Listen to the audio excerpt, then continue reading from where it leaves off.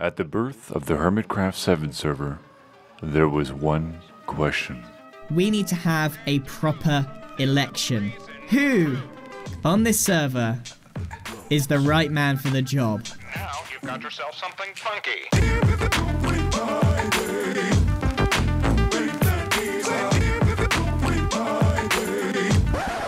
What do you plan to do if you become mayor? What do I plan? Um, what do I plan to do if I become mayor? Honestly, I haven't. I haven't thought that far. I haven't thought that far ahead.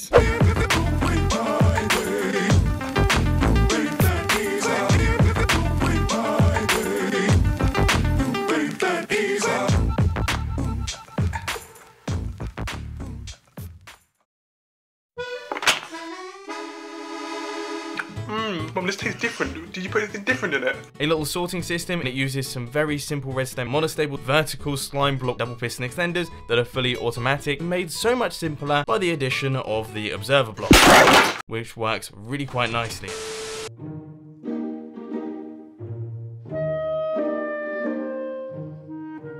Now, I've been doing a lot of looking at Scar's base. Okay, I do this quite often. If I'm ever stuck with my build, I come over here and just stare at pieces of it because, I mean, the dude's a master, alright? And I really, really like his spruce wood mixed with jungle wood. But this central part of the base has been sort of neglected recently, and I haven't really spoken too much about it. And to be frankly honest, it's because I've been stressing. I've been stressing a lot. It's kind of a mix that I'd never thought of before, and also the dark oak as well. It's a mix that I'd never really thought of before because I just assumed those colours wouldn't go together. But they look seriously, seriously cool. It's beginning to look like a solid build. It's beginning to look like a solid build. I think I might be going mad. I'm going to have to just take some inspiration from Mr. Scar, Mr. Panda, Panda Man, and I'm going to have to. Yeah, I mean, look at look at this. It's. Oh my goodness. I just. ah. I am struggling so much with the mental maths on how to get this diagonal here. And then arrow. No, that's good. I can't seem to make it do that. What, ah, I can't compete with someone who builds things like this. How can I compete with someone who thinks to build small mushrooms?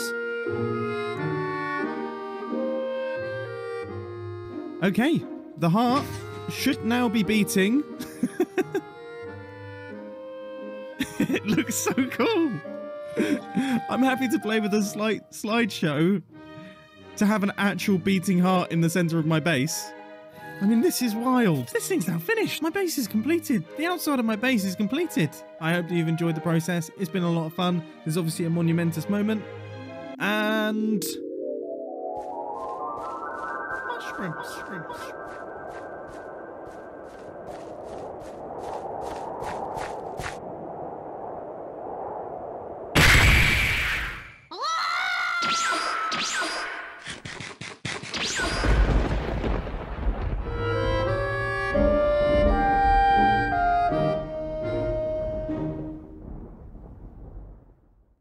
this this villager trading hall that I created is is pants.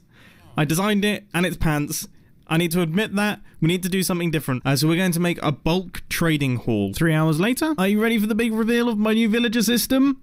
This is Bob. Bob is the security guard, and as you can see, he's a very excitable chap. He also really likes baked potatoes. So if we just grab ourselves one of those and throw it through the system, hopefully he will open the gate for us. Right, it didn't it didn't quite reach him. There we go. Hey!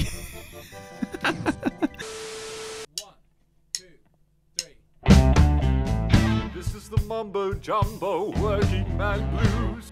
My goal is to become a rich hermit. I've got to start a store called ODEA.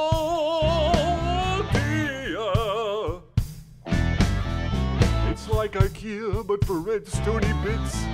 I'm really quite chuffed. I'm gonna sell some 3x3 coldos.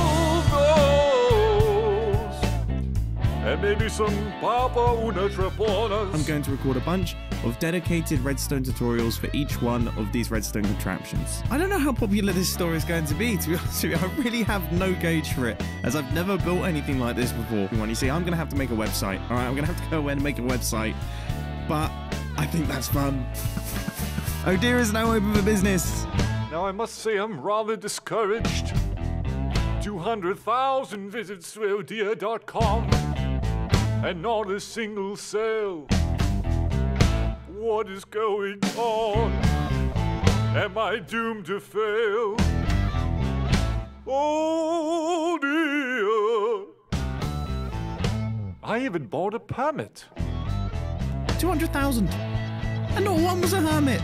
I just don't understand. You know, my store is great. I've built a fantastic store with fantastic products, and I've decided, you know what? I'm not the problem. The hermits are the problem. This store is pants. This store used to be really pants, then it got less pants. Now it's very big and slightly less pants, but still pants. This gigantic store is definitely pants. This thing isn't a store, but it's still pants. This one's okay. Pants, pants, pants, pants. It's all just pants. Anyway, by the looks of things, the spookification chamber has been a massive success, and we are actually making diamonds. Look at this.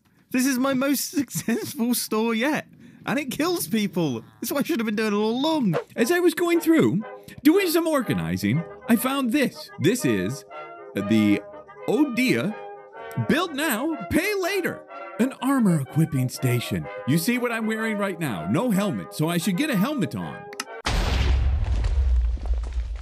Oh no. As you can see, a glorious ODEA kit has been constructed in your base, and now you need to pay for it. What? Killing hermits equals stonks. So let's find Mumbo and ask a quick favour of him. Right, where is he? Oh, he's there. He's got a bamboo suit on. Hi, Mumbo. I don't want you to come to my house. He didn't even hesitate. I don't like people. I like my house. I don't like people coming to my house. I want to be alone. It's been fun. It's been a cool Hermitcraft episode. I've really enjoyed it. I hope you've enjoyed it as well. And I'll catch you in the next one. See ya. And actually, just as I was recording that outro there, I realised as soon as it gets warm in England, I start complaining in my Hermitcraft episodes. Well, that is going to end. This will be the last time you ever hear me say this.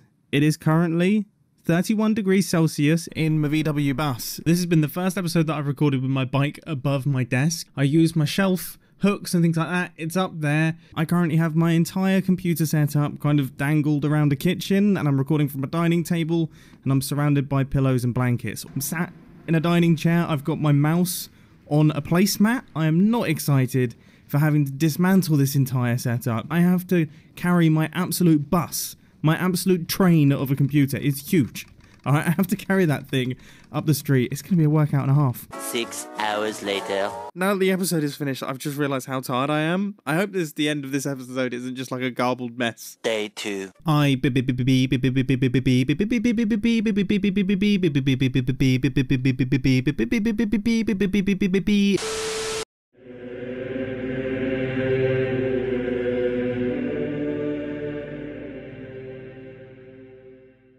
they uh they and I say they because don't know who they are.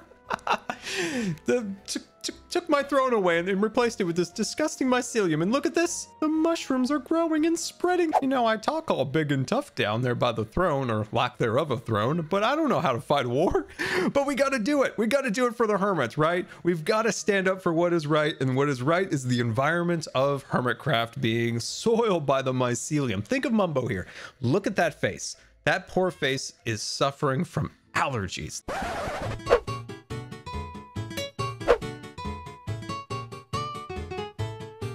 Uh, that doesn't sound like a good idea.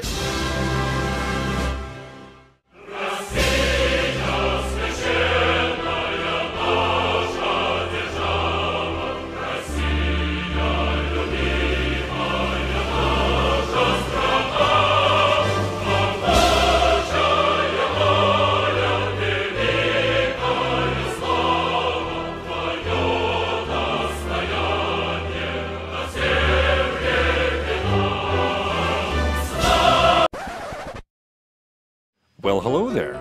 If you like this video, please leave a like on it, and I dare you to get it to this many likes, the magic number of likes. I would kiss you directly on the lips. Also, if you haven't checked it out yet, our second channel, Hussar and Hyde Gaming 2, is where we split up these clips from these bigger videos and we chop them up, make them more digestible and shareable for you.